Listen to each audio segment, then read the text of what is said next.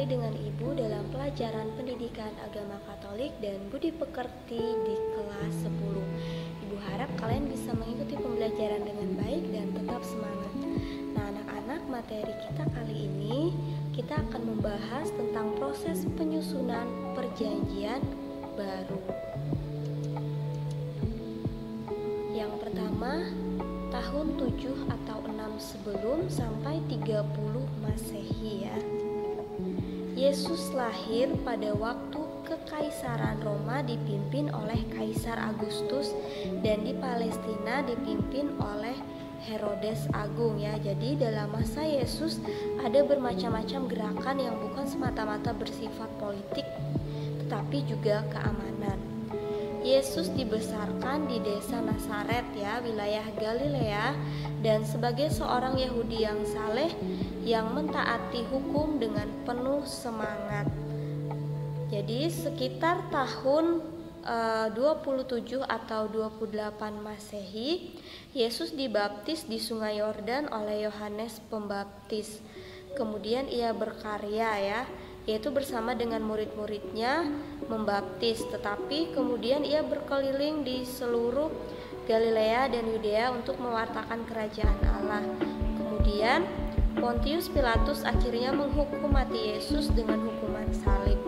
Jadi kemungkinan besar hal itu terjadi pada tanggal 7 April tahun 30 Masehi. Selanjutnya pada tahun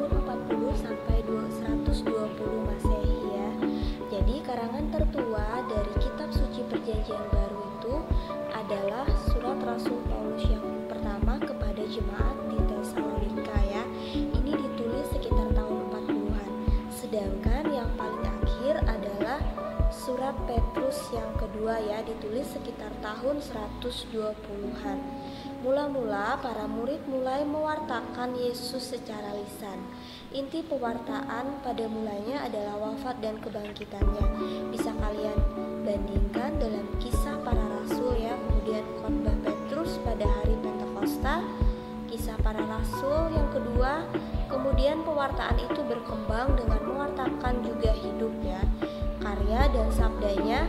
dan yang terakhir adalah masa mudanya atau masa kanak-kanaknya setelah jemaat berkembang dan mulai membentuk komunitas-komunitas komunitas ya. Jadi para rasul berhubungan dengan komunitas tersebut melalui utusan dan surat-surat. Dari situ akhirnya disusunlah Injil-Injil dan kisah para rasul sampai akhirnya seperti yang kita miliki sekarang ini.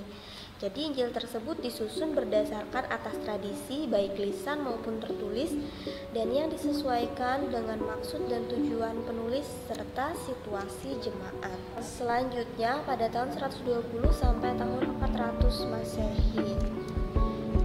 Pada awal sampai akhir abad kedua muncul begitu banyak tulisan tentang Yesus ya yang kadang membingungkan umat beriman tulisan mana yang menyalurkan tradisi sejati dan tulisan mana yang palsu. Jadi dalam situasi demikian umat mulai mencari kepastian akan kitab-kitab yang membina iman sejati. Kemudian yang kedua, untuk mengatasi hal tersebut pada akhir zaman uh, pada akhir abad kedua beberapa tokoh penting mulai menyaring tulisan-tulisan yang ada. Mereka kemudian menyusun daftar tulisan yang berwibawa dan layak disebut kitab suci. Sementara tulisan-tulisan yang menyeleweng dari iman sejati akan ditolak. Nah, jadi sekitar tahun 200 itu mulai disusun daftar kitab-kitab yang diterima sebagai kitab suci. Misalnya, suatu daftar yang disebut kanon muratori ya. Jadi di dalamnya diberikan daftar kitab-kitab yang diterima dan kitab-kitab yang mesti ditolak. Jadi, setelah mendapatkan beberapa informasi penting tentang kitab suci perjanjian baru, kita dapat merefleksikan secara lebih mendalam ya berbagai informasi tersebut dengan refleksi dari ajaran gereja. Jadi kita dapat membaca kutipan dari Injil Markus bab 1 ayat 9 sampai 10 ketika Yesus dibaptis di Sungai Yordan. Nah, pada waktu itu datanglah Yesus dari Nazaret di tanah Galilea.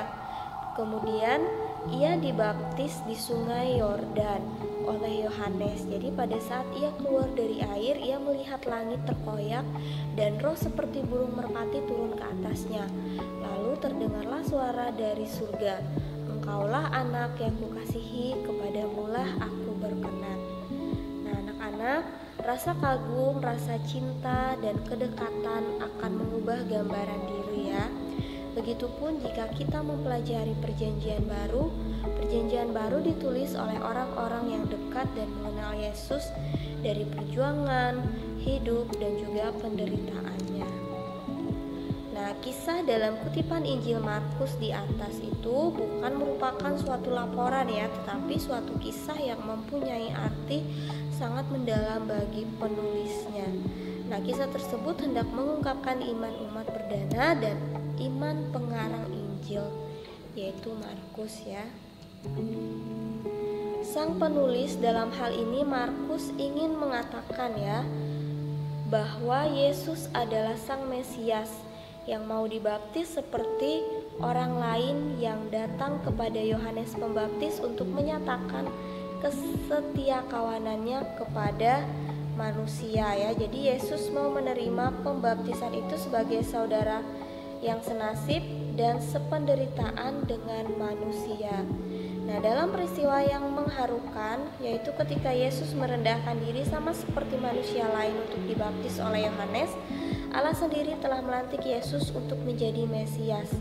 Nah, kata-kata pelantikan itu berbunyi, Engkau anak yang kukasihi, kepadamulah aku berkenan.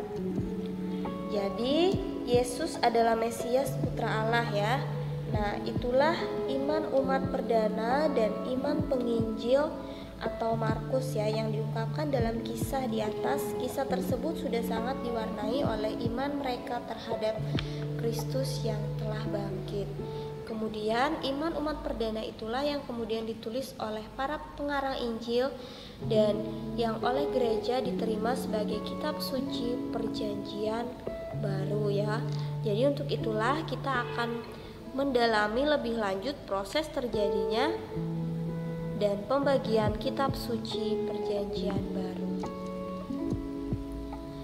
Mengapa kita perlu membaca kitab suci dan mendalami sabda Tuhan dalam kitab suci?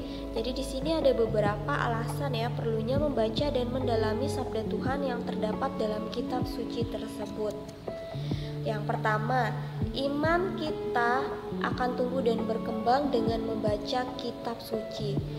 Santo Paulus dalam suratnya kepada Timotius menegaskan ya, segala tulisan yang diilhamkan oleh Allah memang bermanfaat untuk mengajar, untuk menyatakan kesalahan, untuk memperbaiki kelakuan dan mendidik orang dalam kebenaran. Yang kedua, kita tidak akan mengenal Kristus jika tidak membaca kitab suci.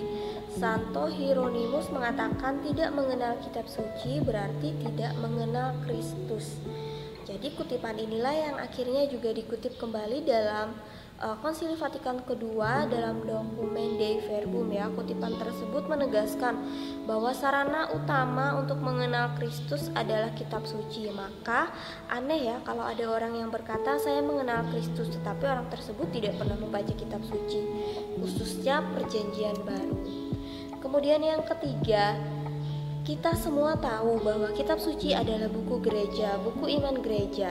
Kitab suci adalah sabda Allah dalam bahasa manusia. Gereja menerimanya sebagai yang suci dan ilahi karena di dalamnya mengandung sabda Allah ya.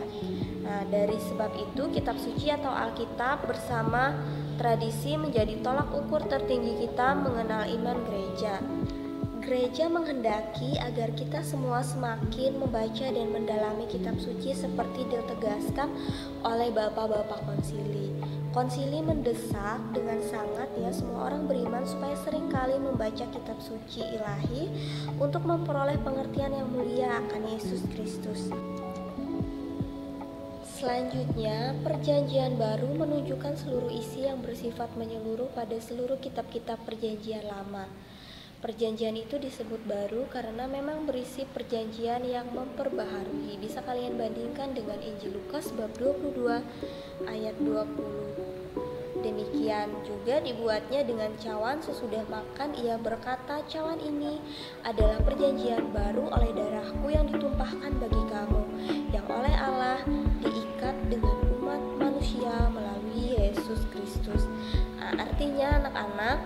perjanjian itu bersifat kekal ya sebab hubungan Allah dan manusia di dalam Yesus Kristus itu tidak pernah akan jadi perjanjian baru melanjutkan dan sekaligus menyempurnakan perjanjian yang lama yang diikat oleh Allah dengan umat Israel. Selanjutnya Alkitab merupakan tulisan suci, indah dan menyentuh sanubari ya. Dari seluruh kitab-kitab tersebut semua orang mengenal suara Tuhan. Jadi menurut konsili dogmatis tentang wahyu ilahi, kita perjanjian lama dan perjanjian baru itu ditulis di bawah bimbingan Roh Kudus. Allah adalah pengarang yang benar dan harus diakui bahwa Alkitab mengajarkan dengan teguh dan setia serta tanpa kekeliruan ya kebenaran yang oleh Allah dikehendaki supaya dicantumkan dalam kitab-kitab suci demi keselamatan